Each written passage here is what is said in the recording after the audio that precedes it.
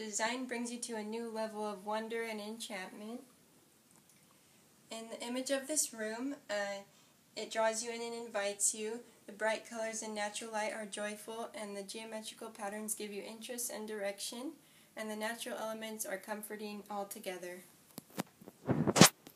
These are my 24 thumbnail sketches.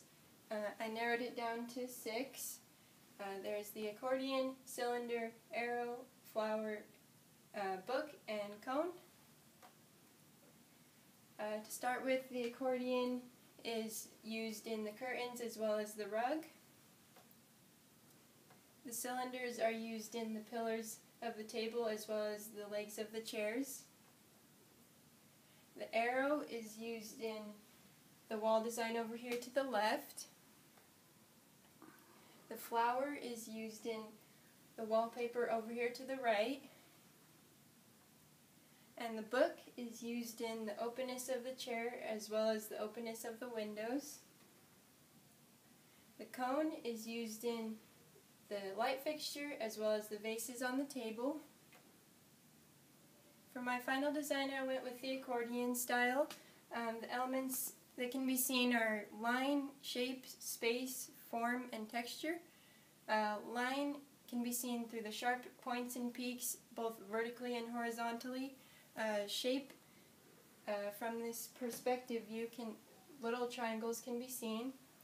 Uh, for space, the depths of the zigzag lines are used. Um, for form, it can basically be found anywhere and can be viewed from any angle.